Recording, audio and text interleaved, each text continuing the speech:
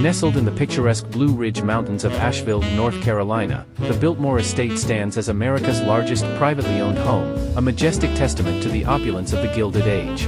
Completed in 1895 by George Washington Vanderbilt II, this sprawling 8,000-acre estate boasts a lavish 250-room mansion inspired by French Renaissance chateaus, filled with an extensive collection of art, antiques, and luxurious furnishings. The estate's meticulously landscaped gardens, designed by the renowned Frederick Law Olmsted, offer a serene escape into nature, while the estate's rich history, including its pioneering role in American forestry and agricultural practices, continues to captivate visitors. Today, the Biltmore Estate remains a symbol of timeless elegance and a fascinating window into a bygone era of American wealth and innovation.